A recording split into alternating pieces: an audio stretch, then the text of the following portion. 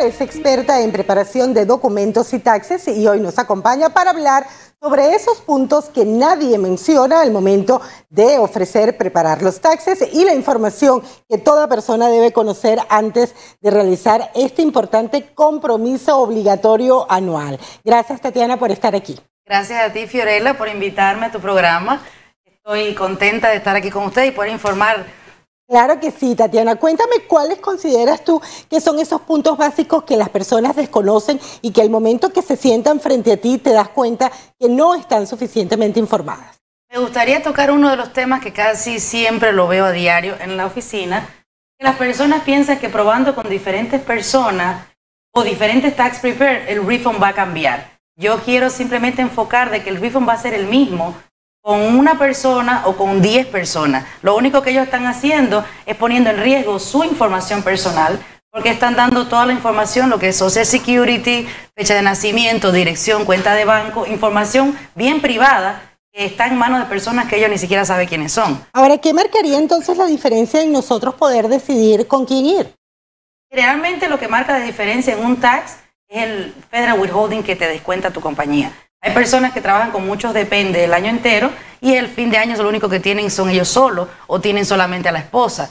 So, siempre están por debajo de lo que deberían tener como un descuento. So, lo que pasa es que cuando tú tienes muchos dependientes en la compañía y a fin de año estás solo para hacer tu tax, siempre tu refund va a ser menos porque en realidad le estuviste mintiendo al gobierno todo el año de que tenían personas a quien tú mantenías. Ahora, ¿qué quiere decir cuando me garantizan que me van a devolver eh, la mayor cantidad de dinero. En realidad, dos más dos son cuatro, en todos lados. So, cuando te dicen te vamos a devolver más dinero, muchas personas abusan de los créditos, muchos tax prepare que no me gusta hablarlo así, pero hoy vinimos a destapar algunas cosas que tú mismo me comentaste.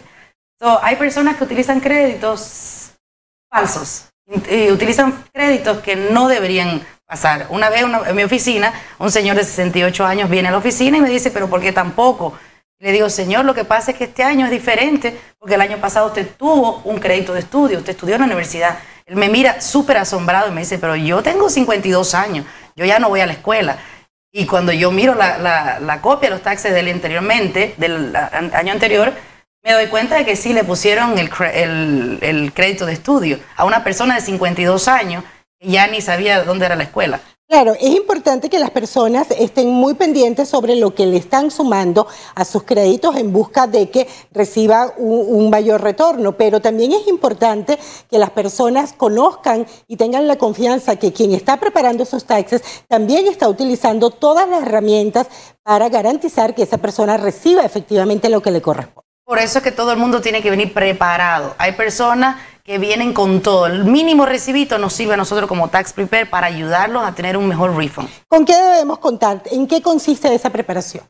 La preparación primero principal consiste en todo lo que tú dijiste en la compañía que tenías. Si tienes dos dependes en tu compañía, tienes que tenerlo a fin de año para ponerlo en tus propios taxes.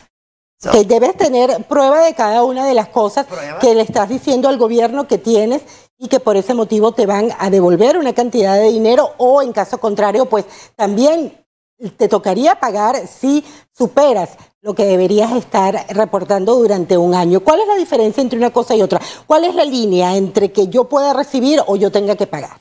El federal withholding. Si no tenemos federal withholding, aunque tú tengas las deducciones que tengas, nunca nos van a dar dinero. Porque el federal withholding es el dinero ahorrado que tenemos, los tax prepare, para trabajar tu tax a fin de año.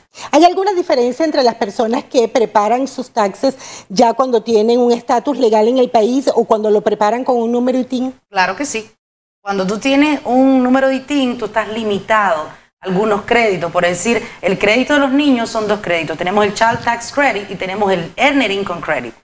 El Earned Income Credit se lo dan a las personas que tienen Social Security. El Child Tax Credit se lo dan a las personas que tienen ITIN, que eso serían mil dólares por cada menor de 15 años.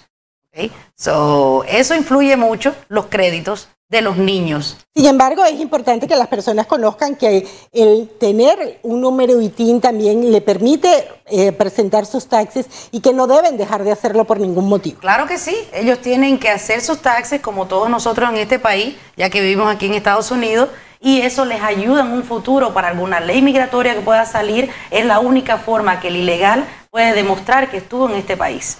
Ahora, Tatiana, hablemos de la declaración de este año, hasta qué fecha las personas tienen tiempo de hacerla y están recibiendo los retornos tardíos. ¿Hay algún retraso en esto?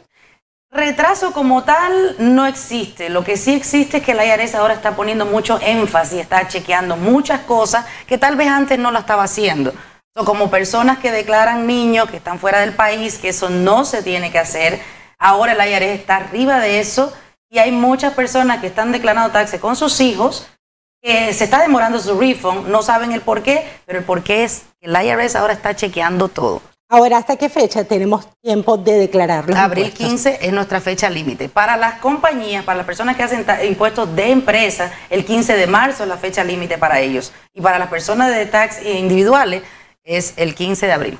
Bueno, definitivamente la recomendación que siempre hacemos aquí en Telediario es que usted acuda a su preparador de taxes de confianza que le brinde precisamente la garantía de poder hacerlo. Tatiana tiene a disposición su oficina, su línea telefónica, que usted la puede ver en pantalla. Si usted tiene alguna duda, llame y consulte, porque además va a pasar un rato muy agradable con ella y, la va, le va a ayudar en la asesoría que usted necesita. Gracias, Tatiana. De nada, gracias a ustedes. Hacemos la pausa, regresamos en solo minutos.